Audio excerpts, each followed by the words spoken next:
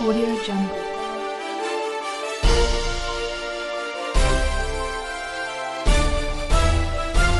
Audio Jungle.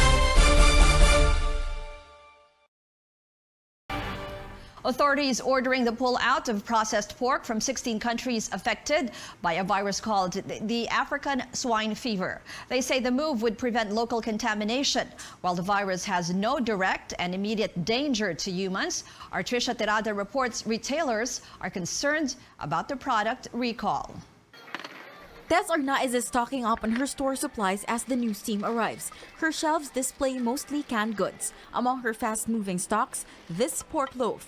So she's surprised to learn about the ban on the brand. Mabili po itong maling. Ito ang laging hanap ng mga tao, lalo pa ng mga kabataan. Kadalasan araw-araw ito ang hinahanap. Lalo ngayon magpapasukan. The Food and Drug Administration has issued an order to all importers, distributors, and sellers to recall all imported meat products from swine flu affected countries. Pag nakapasok kasi yung virus na to within our borders, pagkatapos merong baboy na na-affect dito sa atin, maaari siyang kumalat. At kapag naging widespread ito, syempre, then yung security ng food supply ng ating bansa, ito yung main concern natin. The regulator warns the public against consuming pork products from China, Hungary, Latvia, Poland, Romania, Russia, Ukraine, Vietnam, Zambia, South Africa, Czech Republic, Bulgaria, Cambodia, Mongolia, Moldova, and Belgium. Dapat check nila no, if it's a meat product, uh, tignan lang nila kung yung country of origin of manufacture comes from any of these countries, then hindi siya dapat i, ano, i-consume. Just to be safe, if it came from these countries, uh, i-report na lang sa amin sa FDA so that we can ano, we can send our inspect inspectors there. Supermarket Association President Steve Kua says it's also best to check the manufacturing date. The group is spreading out the order to its members, but Kua says the stock pullout may not be as fast.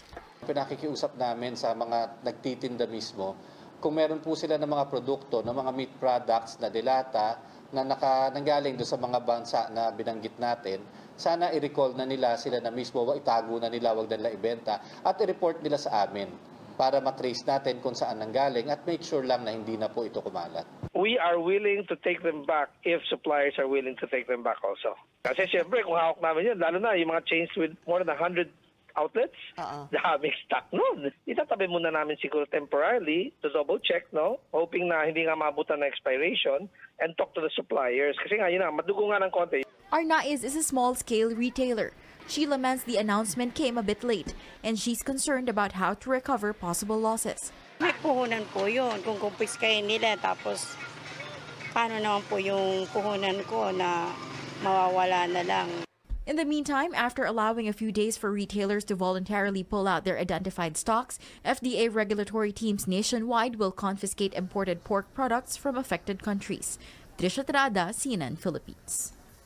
Agriculture Secretary Manny Piñol says those who will be caught bringing in processed pork products from countries affected by the African swine fever would face penalties. Speaking to CNN Philippines, Piñol says violators could face a fine of 200,000 pesos. Despite the ban on select imported pork products, Piñol says the local hog industry has enough supply. Our farmers are always capable of responding to the needs of the market.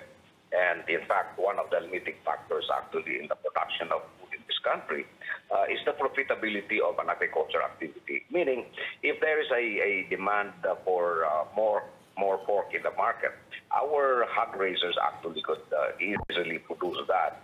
Uh, because it only takes about five to six months before they could harvest uh, the new uh, uh, hogs that they will raise in their farms.